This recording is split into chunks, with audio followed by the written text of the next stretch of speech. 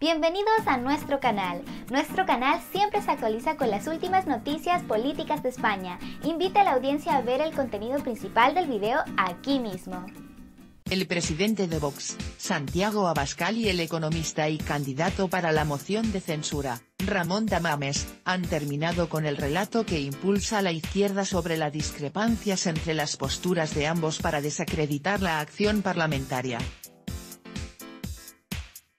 En una rueda de prensa conjunta, realizada este 16 de marzo de 2023 en el Congreso de los Diputados, ambos dejaron en claro que si bien existen muchos puntos que los separa, hay otros que los unen y estos son los fundamentales, la unidad de España, la monarquía parlamentaria y la bandera nacional.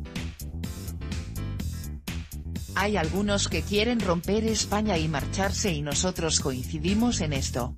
Estamos encantados de estar en España, y que sea una verdadera madre para todos.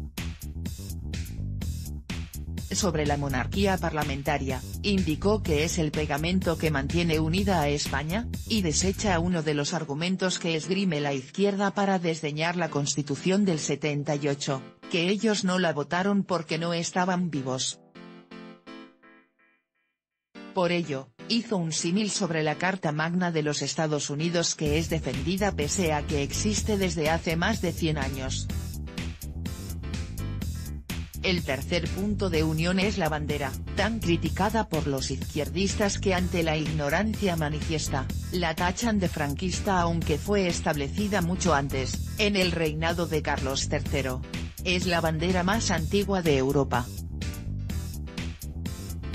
representa a España en su historia universal, y confesó que comenzó a apreciar su valor cuando militaba en el Partido Comunista Español. En la ronda de preguntas, intentaron volver a hacer énfasis en los aspectos que los separan, algo que Abascal ha explicado de una forma tan clara que no debería generar más dudas, hemos presentado al profesor Tamames precisamente porque es independiente, porque puede representar a españoles mucho más allá de los que represento yo. Si quisiésemos presentar a alguien que defendiese el programa político de Vox pues, me habría presentado yo, pero buscábamos una figura independiente. Y por si quedaban, respondió con ironía una periodista de La Sexta que pueden preguntarlo todas las veces que quieran y hasta con volteretas pero no anulan el argumento y la posición de Vox.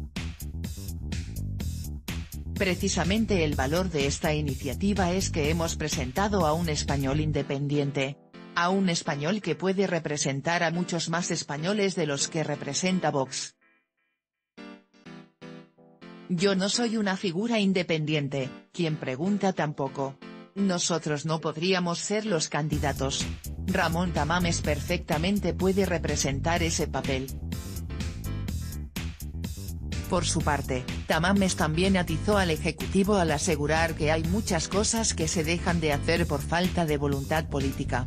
Hay muchas cosas que se podrían hacer y no se hacen por desidia, por ignorancia y por componenda.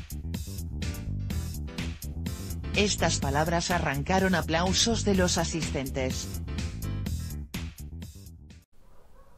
Gracias por mirar el video, dale me gusta, comparte y comenta tus opiniones sobre esta noticia.